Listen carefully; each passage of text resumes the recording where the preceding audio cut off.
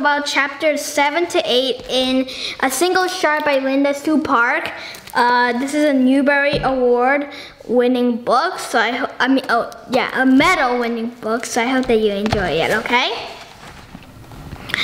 Okay, so how do you think that Min was feeling about the emissary, right? Um, and also, um, I wanted to ask you about inlay work. Okay, so, um, work, do you think that um, Kang's idea is a good idea or a bad idea? And also, um, Tree-ear, he was busy draining the clay, right? And so he was rubbing the sediment when, for a reason, um, he, he knew that the clay wasn't ready yet. So why do you think that this happened to him? And have has this sort of thing happened to you? And also, um, I also wanted to ask you about, I wanted to ask you about um, something else, and it was, it, Min was sort of like a demon inside him, right? He didn't eat, he didn't sleep, he didn't really do anything, he just tried to work. Um, he tried, he worked and worked, right? What do you think is more um, good? Do you think that he should eat at meal times, sleep good, and then he should just work with energy with and without being tired or exhausted or hungry? Or do you think that he should sort of not eat and not sleep and he should keep on doing his work? And also, I wanted to ask you, um, also, uh, how do you think that Min felt when there was only one chance of firing, right? And Potters had no control over this, right? Um, I, I, do, if you are Min, would you have nervous? And I also wanted to ask you about um, about the vases. Do you think that they are gonna come out good or do you just have a bad feeling that no, they are not gonna come out good? But anyway, we now learn why Crane-man did not go to the temple. Do you think it, do you think that Crane-man should have gone to the temple or not anyway? And also, um, um, he said, Crane-man said uh, the reason he was, it was foolish, right? And it was that he saw a fox, right? And um, this is actually um, a quote from the book, okay? Um, yes, it is this. So, it was dusk, and I was still a good distance away. Suddenly, a fox appeared before me. It stood there, right in the middle of the path, grinning with all its teeth shining white, licking its lips, its eyes glowing, its broad tail swishing back and forth slowly, back and forth.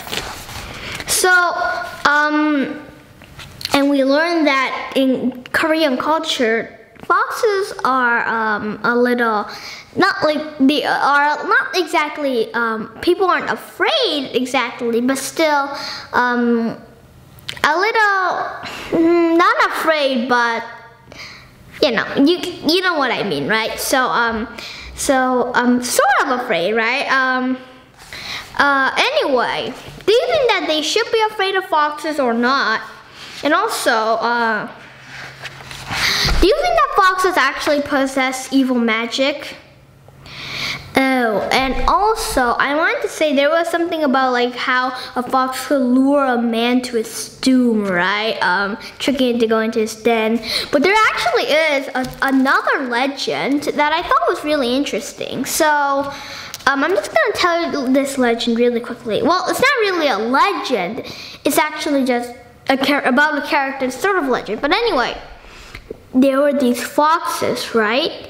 But these foxes they could transform themselves in, they could transform themselves into a lot of things, but mainly women. But the problem was they had to keep their tails, right? So they had to hide the tails, and what they did was they lured the men to their deaths. Yeah. And um, for people who do not like gross things, um, well, this probably might not be the best thing to you, but um, and so you can just skip about the next five, six, I don't know, seconds, okay? The, the, okay, so actually maybe 10 seconds. I'm not very sure. But just as, how, as much as you think is safe if you do not like this answer. Uh, but if you do, then it's just that then the woman, or the fox in disguise, ate the man's liver or heart. Frank, uh, I, I just think that that's not really realistic because foxes are great animals. Uh, I don't know how this came to be this legend, but um, you shouldn't be really afraid of foxes. First of all, the only reason they would attack you and I assure you, there's a 99.99% chance they won't even go near you. Um, it's because they are hungry, and hungry isn't because of malicious, being malicious. It's just that they are hungry, right? Wildlife, nature has a motto: eat or be eaten. And so, um, uh, yeah. But anyway, so I, uh, it's not necessarily that the foxes are evil, right? Anyway, let's keep on going. So, um, Crane, do you think that Crane Man was foolish at that moment? And also, um, I also wanted to ask you about Min's wife, right? Min's wife was, like, she wasn't angry at Tree-ear, but she was a little grave. Uh-oh. And we learned later that the pottery oh man, they were, they had this brownish tint. Oh, how do you think the Min felt about this? And how do you think that Tree-ear felt about this? And also, how do you think the men's wife felt about this? Oh man. And there's no time left. What do you think is gonna happen now? Let's keep on going, right? So, Min began to work on those vases, but he didn't have any time. And Kang had been chosen for a commission. How do you think that um, Tree-ear, Min, and Min's wife felt about this?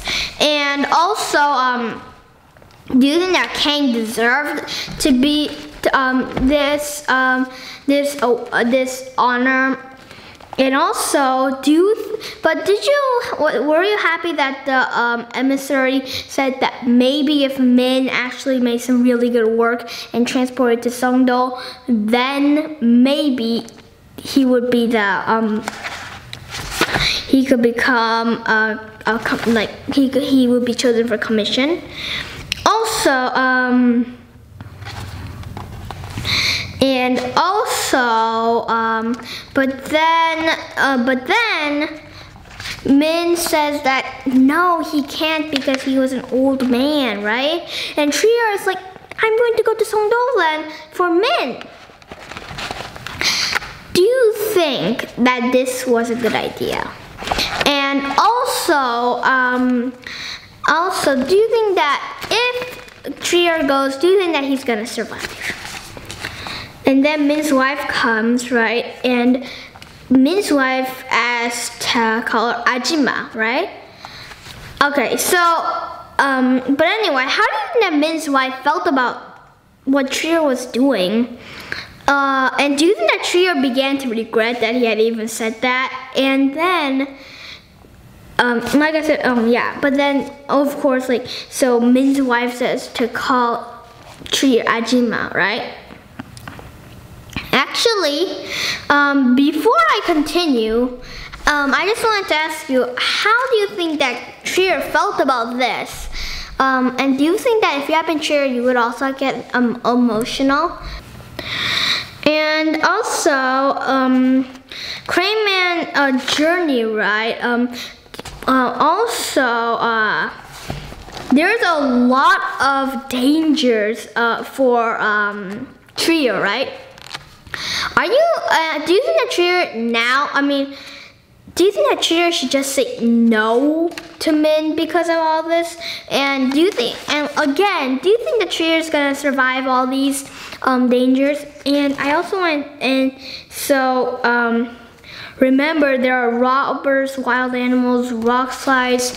Robbers are a big problem back then, and also wild animals. You might just think, hey, there's like squirrels and stuff, but actually, in Korea, there are actually wild tigers, leopards, bears, porcupines, I mean, or hedgehogs, but anyway, even hedgehogs are dangerous, you know.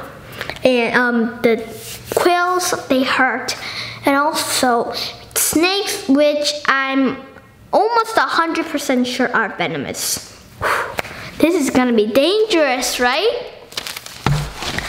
And also, uh, I also wanted to ask you, Min. So, and then um, Tree-ear asked, Tree-ear asked Min if he if if Min could teach him how to make a pot, and Min said no. He said this: "You are not my son."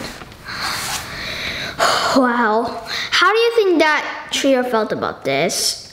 how do you think that Min felt about this? Could you compare Min to something else? A volcano, maybe someone from Star Wars, like Anakin who turned into Darth Vader, or, well, maybe not that. Um, Min wasn't that evil, but sort of. Yeah, you get the point, right? Uh, and also, um, uh, do you think that this was the right thing for Min to do? Anyway, why do you think that Min doesn't want to teach Tree-ear just because he's not his son? Anyway, okay, so we're in sort of, uh, um, you know, in sort of a problem here, right? So, keep on reading, okay, guys? Uh, I just wanted to ask you what was your favorite part, and then what was your, in in these chapters, and then your favorite part um, from the whole book so far. And also, I wanted to ask you, what do you predict is gonna happen next? Who's your favorite character and who's your least favorite character? Finally, um, how do you like the book so far? Anyway, I hope that you had a great time with me and A Single Shard by Linda Sue Park. This is an amazing book and I hope that you really enjoyed this book again. So have a great rest of your day or night. And well, keep on reading this book and other books too. Books are just amazing, okay guys?